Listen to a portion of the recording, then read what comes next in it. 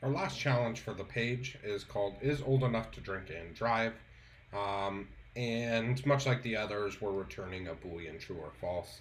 Um, this does say that the legal drinking age is 21, and it is always illegal to drink and drive in the United States. Um, here we have got just a little bit of a trick question. Um, it is never illegal to drink and drive in the United States, so we're going to go ahead and just return false without checking any conditions, and we can see that's the correct solution.